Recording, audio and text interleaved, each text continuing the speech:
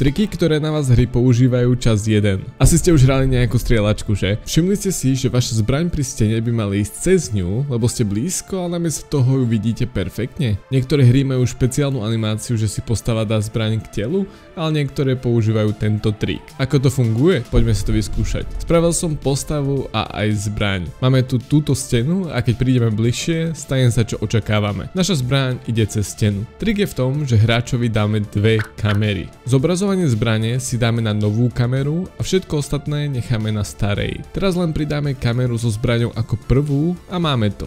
Zbraň vidíme aj keď sme blízko. Vedeli ste o tom? Napíš mi do komentáru. Daj subscribe, ak ťa zaujíma game dev.